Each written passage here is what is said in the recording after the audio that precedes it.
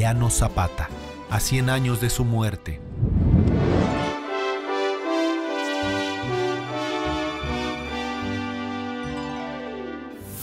Se cuenta que el general Emiliano Zapata era un hombre carismático, interesante y bastante mujeriego.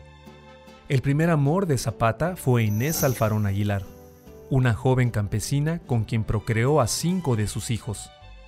Inés siempre perdonó sus infidelidades. Josefa Espejo Sánchez, mejor conocida como la Generala, fue su segunda esposa, la única reconocida de manera oficial. Con ella tuvo un niño y una niña. Ambos murieron muy pequeños, uno por la mordedura de una víbora y la otra por la picadura de un alacrán. Margarita Sáenz Ugalde, originaria de Yautepec, Morelos, fue la tercera. Con ella procreó tres hijos más. Del romance con Petra Portillo Torres nació Ana María Zapata Portillo, quien falleció en el año 2010 y fue sepultada en el municipio de Cuautla.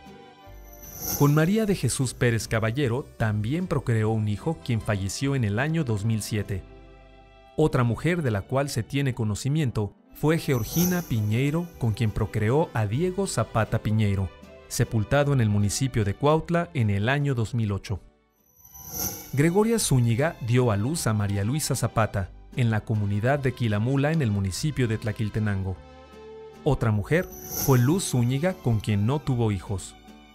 Agapita Sánchez fue una más de sus mujeres. Con ella tuvo a Carlota Zapata Sánchez, quien falleció en el 2014. Con Matilde Vázquez procreó a Gabriel Zapata Vázquez. Dolores Escandón se convirtió en una de las mujeres favoritas del líder revolucionario.